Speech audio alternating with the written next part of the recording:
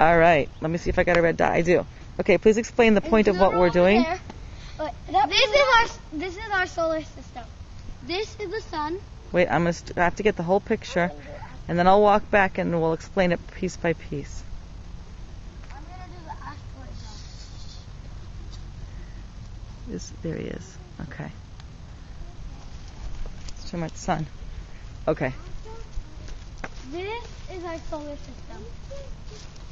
Here's the sun. It's much smaller than real life. Yeah.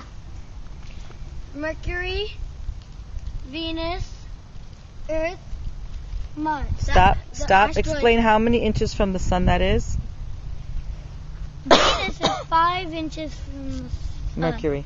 I mean, Mercury is five inches from the sun. Venus is, I think, nine inches. Is nine inches in this. Earth is one foot away from the sun. Mars is a feet and six inches. This is the asteroid belt. This Okay. is the asteroid belt. Now we go to the outer This is- planets. This is Jupiter. Venus. Wait, how far was Jupiter? Uh, Five feet, two inches. Okay. Okay. And wait, how how big is Jupiter compared to the other? Do you remember how much big, bigger than Earth Jupiter is? Venus. Um, Jupiter could fit, I think, a thousand Earths inside of it. More. Yeah, that's good. Okay, what is this one Venus? here? Venus. That's no. not Venus. This is Saturn. Can't you see its rings? Okay, how many feet out was that? Do you remember? Um, this is 19, I know. So that one's like 9?